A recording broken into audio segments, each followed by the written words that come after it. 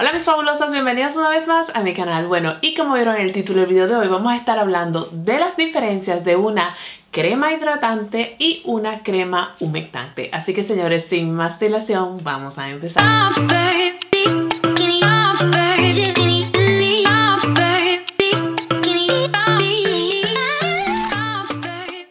Confesarles que este tipo de video realmente me gusta. Es verdad que a mí me gusta el maquillaje, me encanta el maquillaje, pero este tipo de videos donde les comparto las cosas que voy aprendiendo, pues me encantan. Porque realmente para mí este tipo de videos son bastante útiles. Entonces, vamos a comenzar. Yo no sé cuántos de ustedes saben que la piel tiene memoria. Y ustedes dirán, Nino, ¿cómo es eso que tiene memoria? Pues sencillo. Eh, todo lo que nosotros hacemos en nuestra piel, ya sea de cuidarnos o de no cuidarnos durante nuestra juventud o, durante nuestros 20, pues se van a ver reflejado en nuestros 30 y así sucesivamente. Lo que necesite en los 30 se te va a ver los 40 y bueno, lo que necesite nunca, mi amor, pues usted lo va a ver cuando usted esté arrugadita como una pasa. Y realmente esto lo vamos a ver manifestado en que en las arrugas, en las manchas solares, la flacidez, en la textura de nuestra piel que va a cambiar obviamente, en los poros abiertos o bueno, realmente poros dilatados y también la pérdida de luminosidad en nuestra piel. Es decir, mi amor, que usted va a estar arrugadísima, llena de mancha, eh, como una pasa, como una pasa seca y aburrida porque tampoco va a tener eh, luz y vitalidad. Así que ya saben, vamos a empezar recordándoles que la piel tiene memoria. Y por supuesto, una de las causas del envejecimiento de la piel se encuentra en que en la deshidratación, en una lenta renovación celular y por supuesto la oxidación. La verdad es que la apariencia de la piel o la buena apariencia de la piel está relacionada con la hidratación. Yo siempre se los he dicho, señores, no se preocupen, bueno, o por lo menos yo, no me preocupo por ponerme contorno de ojo, porque las arruguitas, porque no sé qué. Es verdad que hay que cuidarse, pero yo no me preocupo tanto de eso. Realmente me preocupo de la hidratación y la humectación de mi piel. ¿Por qué? Porque es que a fin y a cabo eh, las arrugas van a aparecer.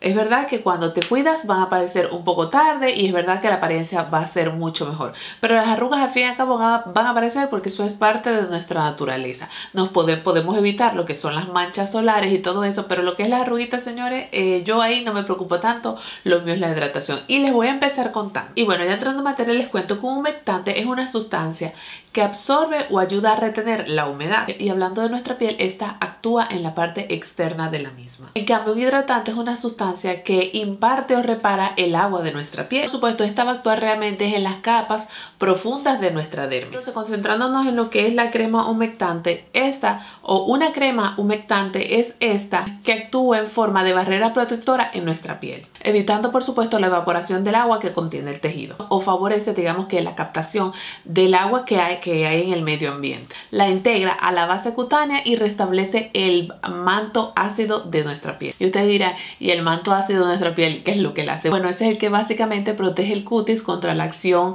eh, de los factores dañinos que tenemos en el medio ambiente. También las cremas humectantes nos van a ayudar a restablecer los aceites naturales de nuestra piel. También les cuento que estas cremas son ricas en glicerina, en urea, en pantenol y en alatoína. Estas sustancias son capaces de retener la humedad en nuestra piel. Entonces, la pregunta del millón, ¿para qué tipo de pieles eh, es, es, necesario las cremas humectantes? Realmente para todas, pero generalmente o digamos que las más necesitadas son las pieles secas y las pieles deshidratadas. Pero aquí les tengo que hacer un paréntesis. Si tú sientes, independientemente del tipo de piel que tú tengas, que tu piel está como seca, que está como apagada, que le falta como... Eh, uno puede decir, bueno, me falta como hidratación, porque muchas veces confundimos lo que es eh, cuando nos falta hidratación a cuando nos falta eh, humectación. Entonces, esto cuando sientes que tu piel está así, esto significa que tus células o las células de tu piel no son capaces de retener la humedad en la misma. Y por supuesto, hay que salir corriendo a aumentarla. Ahora vamos a hablar de lo que es una crema hidratante. Una crema o se le llama una crema hidratante cuando esta sustancia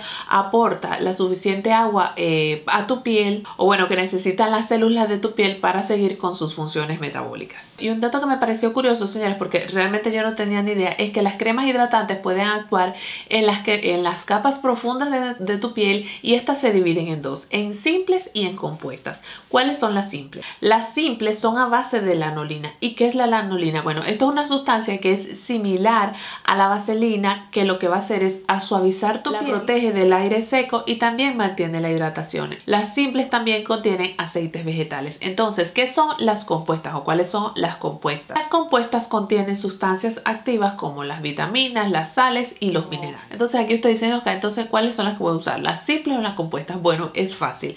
Durante, digamos que cuando empezamos a cuidarnos, que debe ser, digamos que durante nuestros 20, pues usted a usar las simples. ¿Por qué? Porque nuestra piel todavía produce toda la fabulosidad que necesitamos, entonces durante los 20 usted utiliza las que, ten, las que sean de... Eh, que sean de complejidad simple y ya a partir de los 30 pues usted va a usar las que sean más complejas. ¿Por qué? Porque ya a partir de los 30 nuestra piel o nuestra fabulosidad, vamos a decirlo así, empieza a menguar y es que la cosa se pone agria. Entonces ahí es que uno tiene que ponerse su cremita y sus cosas pues para mantener y avivar esa fabulosidad natural en nuestra piel. La misma pregunta, ¿Cuándo o qué tipo de pieles eh, necesitan cremas hidratantes? Señora, señora, señores, bueno, mis fabulosas, todas, todas las pieles necesitan cremas hidratantes. Yo he escuchado por allí infinidad de veces, incluso eh, gente que está en esto de la belleza, que dice, no, yo tengo la piel grasa, por ende yo no necesito crema, no me pongo crema, no me pongo hidratante, porque bueno, ya mi piel de por sí produce crema, eh, grasa. Y, y, yo me quedo, es que no, es que aunque tu piel sea grasa, tu piel necesita hidratación. ¿Por qué? Porque cuando tu piel es grasa, ¿verdad? De normal, todas las pieles producen algo de grasita. Todas, incluso la seca, producen algo de grasita.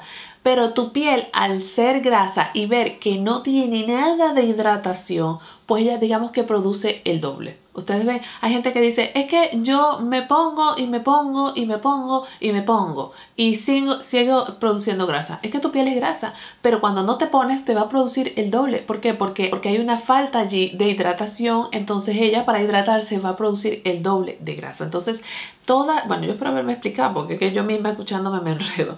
Eh, todos tipos de pieles necesitan hidratación Todas, señores, todas. Grasas secas, normales, mixtas, todas. Porque es que les digo, no importa que nuestra dieta sea equilibrada y que bebamos mucha agua, eso no es suficiente para mantener nuestra piel hidratada, que se los digo yo, que bebo muchísima agua, mm, últimamente llevo una dieta que es bastante equilibrada, me pongo crema, pero desde que me dejo de poner crema, mi amor, la, sequía llega a, mí y me invade. Entonces, no importa, no nos paremos, hay que seguirse hidratando. Para mantener una piel eh, bonita, jugosa, que se vea sana, hay que hidratarse y hay que humectarse, por supuesto. Y bueno, ya luego de toda esta explicación y para finalizar, le voy a dar cuatro pasos que son importantes a la hora de usted elegir su crema hidratante o su crema humectante. En primer lugar, hay que elegir una crema que vaya acorde a tu tipo de piel. Señores, a mí esto me pasaba antes muchísimo. Que yo compraba cremas, bueno, porque estaban de moda, bueno, porque era la última bomba, bueno, porque yo veía que todo el mundo decía, esto es fabuloso, mi amor, esto te va a hidratar. Y resulta que no tenían nada que ver con mi tipo de piel. Entonces cuando yo me lo ponía, yo decía, pero esto como que a mí no me hace nada. ¿Por qué? Porque yo estaba usando un producto que no iba para nada acorde con mi tipo de piel.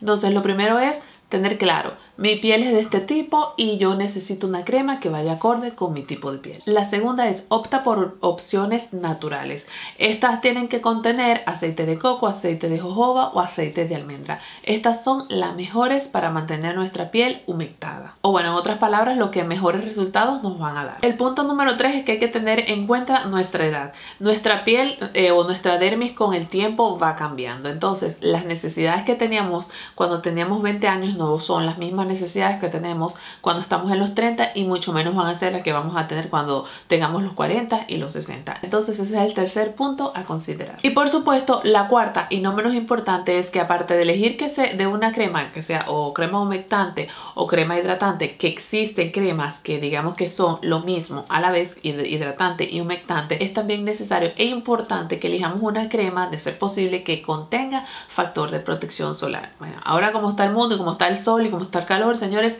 es importante protegernos eh, no solamente por salud, que es lo principal, sino también pues para evitar eh, futuros problemas y futuras manchas. Así que nada, después de toda esta explicación, espero haberme explicado bien, que hayan entendido bien, porque yo a veces hablo mucho y a veces yo, yo solita me enredo aquí.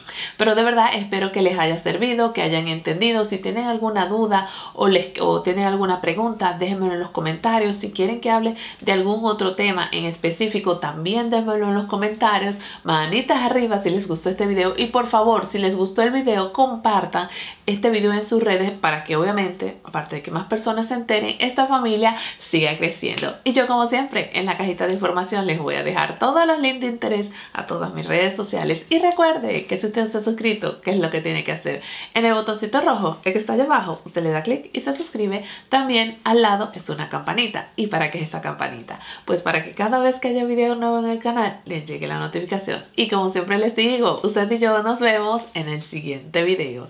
Chao, chao.